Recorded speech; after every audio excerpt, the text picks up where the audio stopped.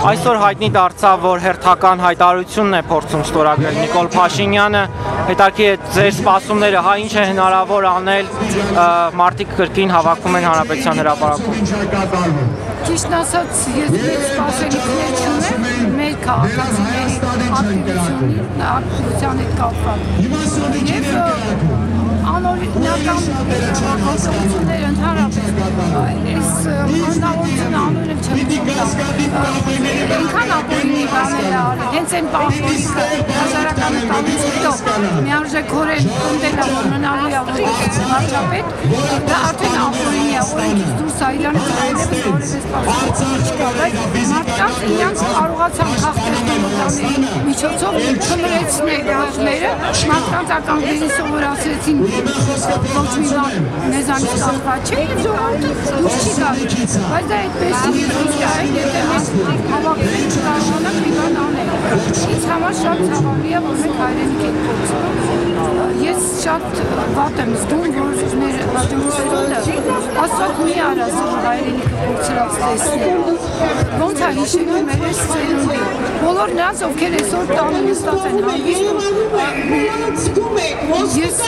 վստահ եմ, որ իրանք չեն մտածում, որ կարա այդ պատահած իրանք տունը։ Բայց համոզված եմ, որ բոլորիս Դուք տարիներ շարունակ Սփյուռքում հետ շատ սերտ աշխատել եք, հա։ Ինչու է Սփյուռքը լռում, ինչու իրենց կողմից, այսպես ասած, ձայն չի բարձրացնում։ Դա շատ կազմակերպված վերվեց Հայաստան կապերի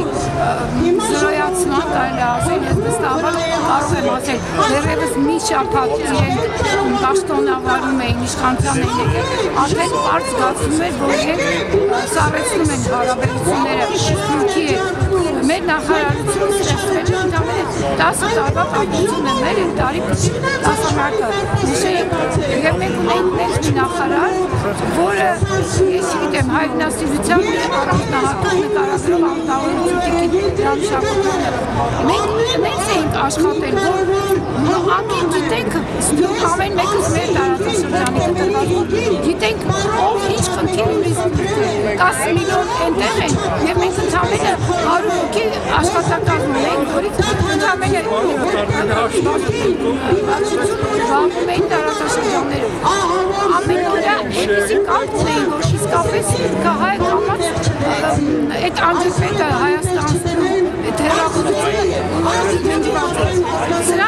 կարողացան մեկ շաբաթում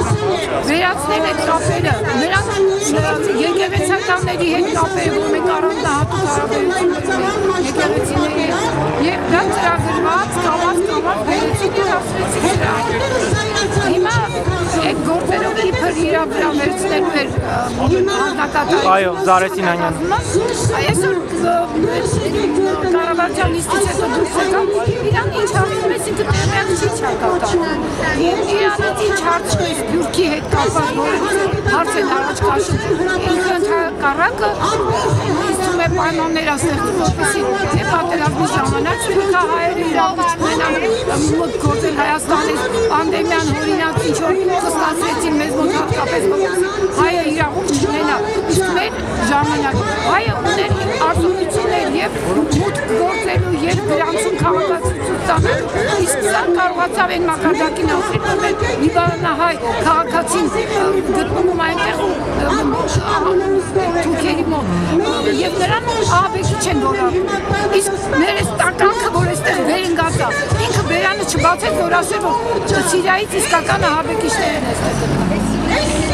այդպես տարանջատեցին Հայաստանից ընդհանրապես առանձնացրեցին, բայց ես հույս ունեմ եւ վստահ եմ, որ մի փոքր այստեղ փոփոխություն եղավ, նորից կապը վերականգնի եւ դրանով համոզված